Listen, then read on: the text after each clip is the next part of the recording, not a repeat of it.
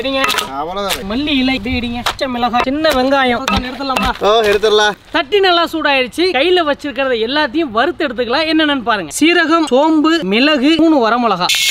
நல்லா வறுபட்டு வந்துருச்சு. அப்படியே நம்ம இறங்கிடுவோம் பாசி பருப்பு அதையும் வறுத்து எடுத்துடலாம். வறுத்த பாசி பருப்பு வறுத்த மசாலா ரெண்டையும் இடிச்சு எடுத்துக்கலாம். சம்பதுக்கான இடிச்சிங்களா ஓ எஸ் இடிச்சது நல்லா இல்லை. மறுபடியும் இடிங்க.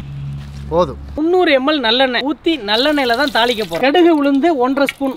இடிச்சு வச்ச பூண்டு இதில் பாதி. பூண்டு நல்லா வதங்கி வந்துருச்சு. இதை போட்டு நம்ம வறுக்கணும். வறுக்கணும். அதுக்கப்புறம் இதை போடணும். சரிங்க.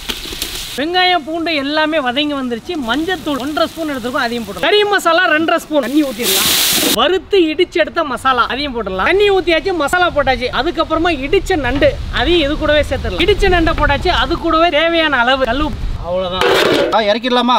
ம். ஏய் என்ன மனம் பார்த்தீங்களா? மணக்குது அருமையான ரசம். அருமையான ரசம். ஆமா நண்டு ரசம். ம். அடாடா